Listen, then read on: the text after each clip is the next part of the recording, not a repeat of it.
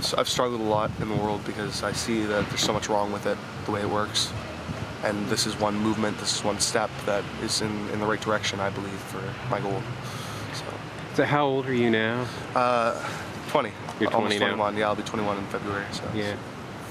So where do you stay when you're not here? Like, do you, you said you're still in the system? I actually have a place just down, Okay. just down a couple streets. But this is a, such a cause for me, and I believe in it so much, uh, like that I, I want to actually be here on the spot. I made this my occupation. See, my, my goal was to go to uh, get a job, build up enough to take out a loan, and then go to Atlantica and take fashion design. But I figure if I do this long enough and we get recognized, you know, that I, be, I can market my skills to the people instead of working for an agency or a corporation. So.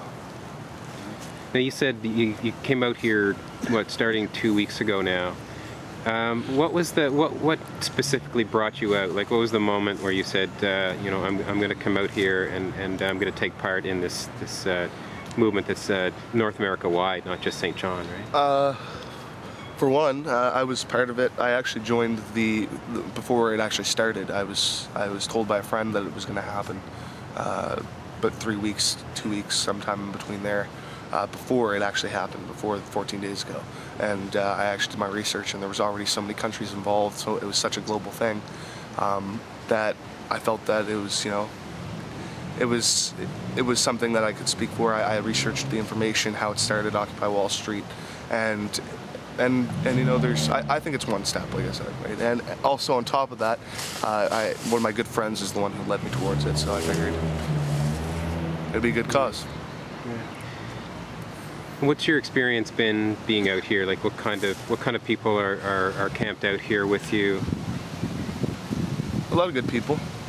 A lot of good people. To be honest, I, I'd say they're all good people. Yeah. for even being here.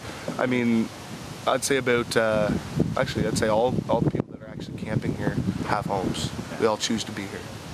Um, we're trying to get a lot of different demographics here too, instead of just the young generation, Yeah. because it'll look better.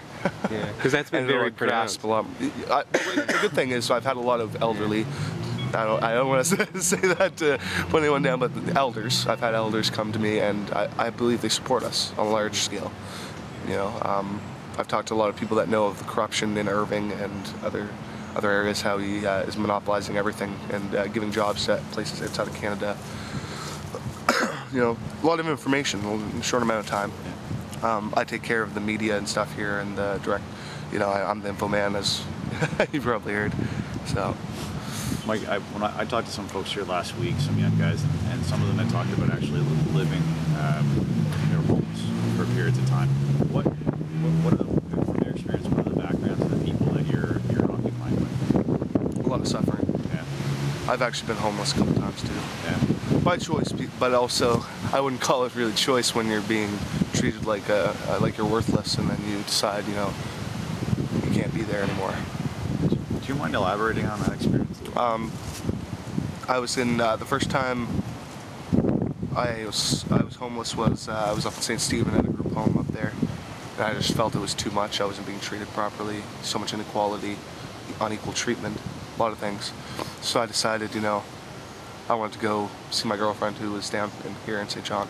And I came and I was on the street for about a week and a half out of that two weeks that I was here, and uh, eating bread and water, you know, every day, going down to the Romero House, um, which I thank them for that, you know, supporting me. Uh, and I met a lot of people. I know a lot of homeless people around here, and I, you know, I have I have a friend that is homeless right now, and you know, it's sad. It's sad when we have so much wealth in Canada that we actually have to have people on the street. Mike, what is it? What is the Occupy movement? What does it mean to those people, right? Those people you're talking about suffering and on the street. how does that How does that big global movement connect to their everyday lives? I believe that it's it, they see it as an important thing. I've talked to a couple. I've talked to a couple people that see it as a good thing, and I've you know, at the same time, I believe that they're struggling so much that they can't really be a part of it, or they don't feel they can be a part of it. Um, I'd like to actually. There's another tent city somewhere in Rockwood Park, I believe, that they put out. I'd like to get them here, uh, you know, because the truth is, it does affect almost everyone anyway. we are the 99 is the saying, you know, and it's true because the one percent is so slim. There really is a very few that are, are hoarding and, and have plotted this for so long to take our wealth. No, no, no. You said that you've been homeless at points, and that you've, uh, know, you relied on places like Romero House when you when you were on the streets. And I noticed that you guys are, are collecting Yep, food oh, from Romero House, Yep. and they're coming to pick it up.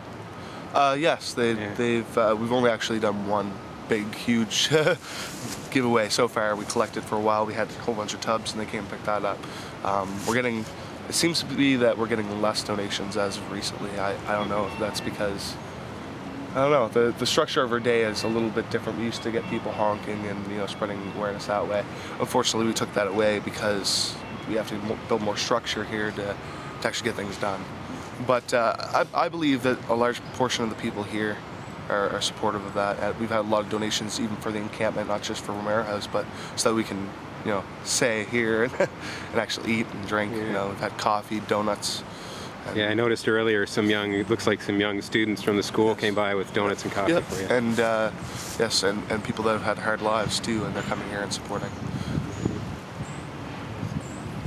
So what, for you, Mike, when this is, because eventually you're going to move out of Yeah, come on. Trying to get pick up your sound. Sure, yeah. Actually, just pick up your sound. Yeah. So so eventually, Mike. I mean, you're going to move out of the park and you're going to you're going to go back to your apartment or whatever. But what what's the next piece in all this for you? Where do you go from here? Sometimes I feel Good question. lost. I don't know where to go. But to be honest, I think if I can find people that have the similar belief, the similar, not even the belief, just the want to end suffering, those are the people I want to be around. Yeah. I have to ask you some pra- a couple of practical questions. Like, it's getting colder here at night. hmm Uh, how how are you coping with that night overnight? Now, when you were homeless yourself, uh, what time of year was it? Uh, winter. It was winter. Right. I was sleeping in people's doorways, apartment doorways, like in the in the foyer, if you want to call it. Um, there's a couple nights that I slept outside. so in fine. some ways, you're probably better prepared this time because it looks like you guys are pretty well outfitted here. Uh, yeah, well, we have still have a lot. We have some resource people that will be coming back today. Um, our tent, that's the tent I'm in. We have a we have a couple tarps up over top of it. Uh, a good idea, I, I, I think, is that I didn't even come up with, to be honest, is uh, put blankets over it and tarps uh, to keep a layer of warmth, to keep the heat in. We're gonna have crank gener- a crank generator hopefully here soon, uh, Sunday actually. Um, I was talking to a man and he decided he was going to give us a crank generator, so that's pretty cool. That'll give us some supply heat for, you know, heaters, maybe some, we can get some emergency heaters or something to attach to it. Um, we're asking for uh, sub-zero sleeping bags and quite a few things to keep warm, right? But uh, we, in my opinion, I believe the reason we're here is, you know, and the good, good thing is to stay here because if we move and we show that we're giving up just because of the winter, it's going to show that we're giving up. we can't pull through, and I mean, there's going to be harder times to come. There's always somebody harder, har- you know, that's suffering even more. That we, you know, if they can do it, then we should show that we can do it as well, right? To support people that are suffering.